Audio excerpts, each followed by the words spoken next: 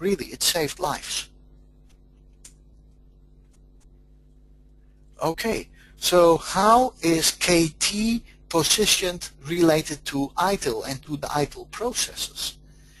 Yeah, you know, ITIL, we all know ITIL, I assume you all know ITIL. The ITIL uh, is a, a, good practice framework for IT service management organization.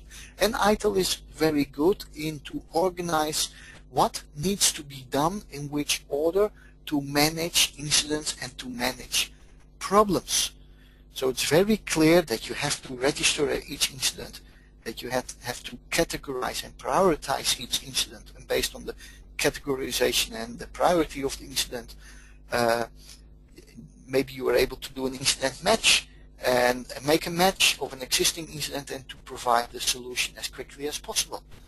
Um, but how, and I, the ITIL incident management process is also describing that you have to do a further investigation and analysis. But what exactly and how you should do that further investigation and analysis, that's where ITIL fails. That's where ITIL stops. How you do the further investigation, how you do a further diagnosis and come up with a, with a, a conclusion. ITIL is not giving you very much information about these steps the way you do the investigation and analysis when you go to the official ITIL books, it, it is described in only a couple of sentences in a certain paragraph in the incident management chapter in the service operation book. Similar story for problem management. How you investigate and how what you should do and how you should do it to come up with structural root cause and come up with structural solution, the problem management process is not giving you much information about that. And that is where KT comes into the picture. It clearly describes you in a very rational, in very rational steps by going through different, various types of processes.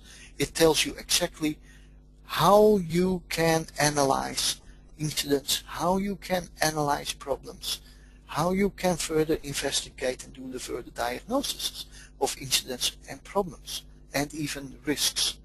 And KT is very, very strong in that. It's not difficult, it's not complicated, it's not uh, science, no, it's a very simple, rational processes that you have to go through uh, in logical steps to be able to be successful.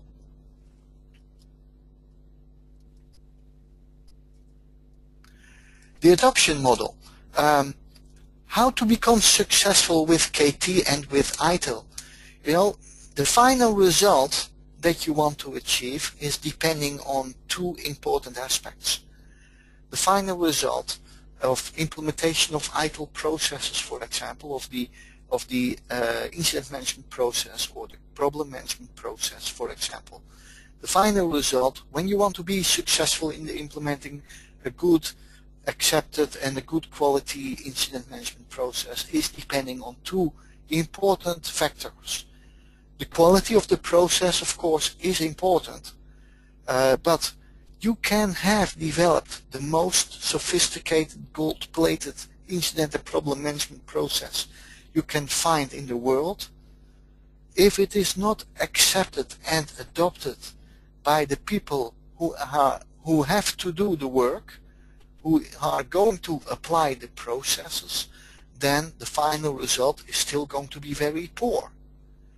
So also um, applying incident management and problem management process according ITIL and according uh, the Kepner-Tregoe methodology, it's about working together with a whole team of people, think about what is it that you have to do, in which order, work that out in a team, develop these IT service management processes together with the key stakeholders to prevent it's going to be your ITIL process and make sure that it is going to be our IT service management process.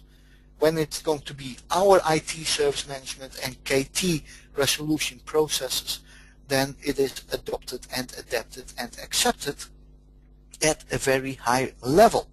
and then the end result is much better uh, uh, compared to the situation that you as an individual developed this process and pushed it down the throat of the people who have to do the work. Then you have a high, low level of acceptance, a low level of adoption, and then the final result is very. So when you look to the KT processes too, make sure that you work together, facilitate these processes with key players in your organization, and make sure that people start to recognize the advantages of it.